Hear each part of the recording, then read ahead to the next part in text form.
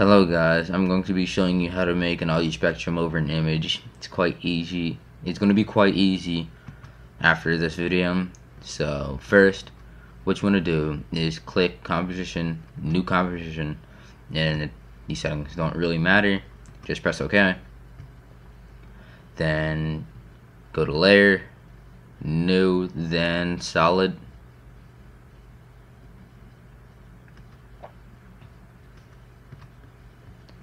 After that, you want to just select this, then go to effect and generate.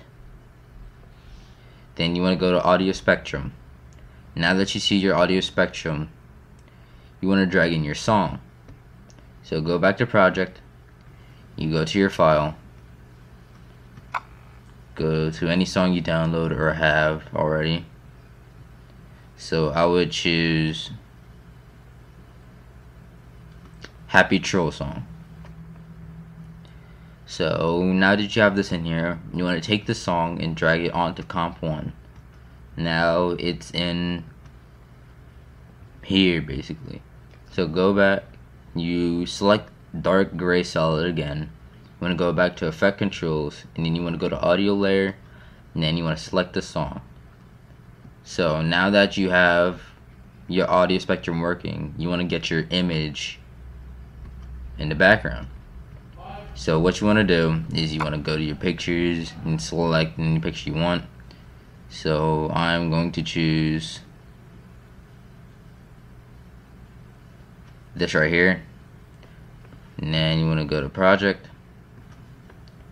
And then just drag it in there. And then while it's in there, you want to drag it down. And don't put on the top layer because nothing will show. You want to put on on the bottom layer so your audio spectrum will work. And then if you have an image with a lot of red in it, you want to go to dark gray solid again and turn it something turn it to a color that's easily visible. Probably not going to be visible, but I'm going to make it black.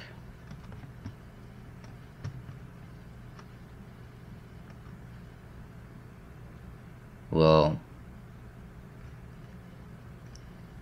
well there you have it but you want to take your image and then you want to first you want to zoom out to 33 percent and then you want to take your image and then bring it up to the screen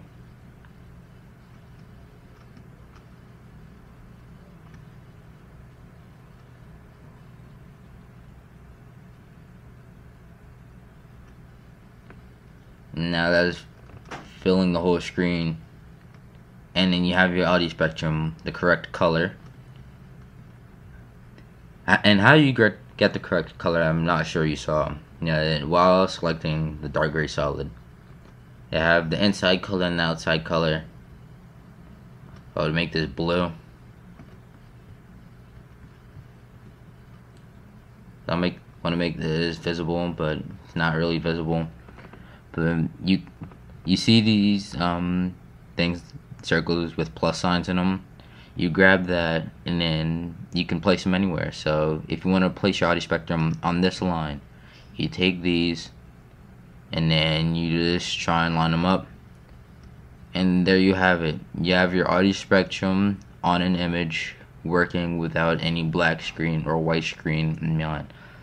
What you got to do is you take your image and you put it all the way at the bottom so it's under everything.